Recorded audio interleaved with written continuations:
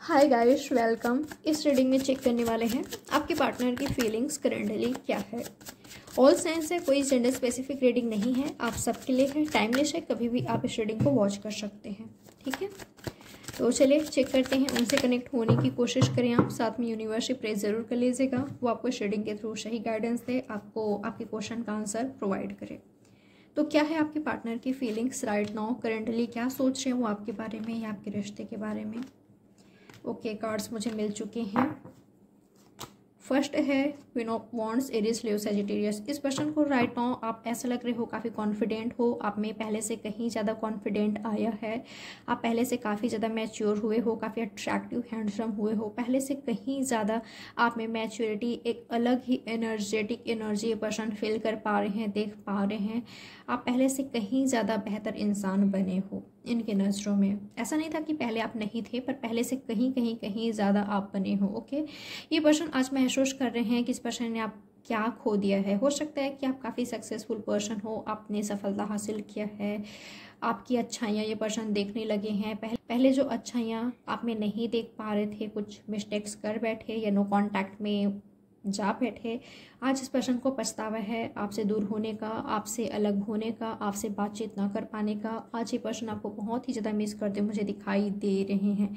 हो सकता है आपने अपनी तरफ़ से बातचीत पूरी तरीके से बंद कर दिया है। तो आज इस पर्सन को बहुत पछतावा हो रहा है रिग्रेट हो रहा है कि इन्होंने आपको खो दिए है। जिस व्यक्ति को, जिस पर्सन को ये कभी खोना नहीं चाहते थे, अपने सीने से लगा कर रखना चाहते थे, वो आज इनसे काफ़ी दूर हो गए हैं, जो इनके फैमिली की तरह था, जिनके साथ ये फैमिली बनाना चाहते थे। फैमिली रीज़न हो सकती है आपके अलग होने का।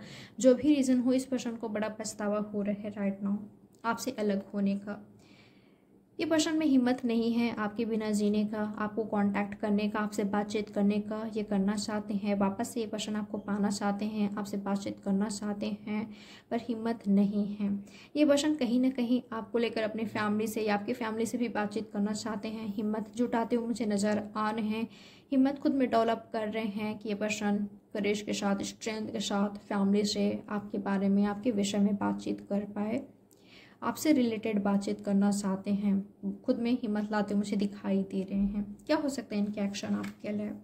Seven of cups right now तो कंफ्यूज हैं। आपके पर्सन आपको ऑफ़र ज़रूर करना चाहेंगे, बातचीत करने की कोशिश करेंगे, पर ये पर्सन गिव अप कर देंगे। मुझे एफर्ट्स करते हुए दिखाई दे रहे हैं थोड़ा बहुत, पर आप मुझे इग्नोर करते हुए दिखाई दे रहे हो या इन फ्यूचर बहुत ज़्यादा आप भाव दे रहे हो या इनके थोड़े से कांटेक्ट करने पर आप इनको रिप्लाई कर रहे हो रिसीव कर रहे हो, इनको कॉल टेक्स्ट में ऐसा कुछ नहीं देख पा रही हूँ तो आपका इग्नोरेंस वैसे तो ये पर्सन काफ़ी कन्फ्यूज़न के बाद, काफ़ी डाउटफुल एनर्जी के बाद बड़ी हिम्मत करके आपको कांटेक्ट करेंगे और ऊपर से आप इनको भाव नहीं दोगे इग्नोर करोगे तो ये चीज़ इस पर्सन में झिझक और ज़्यादा ला देगी, ठीक है?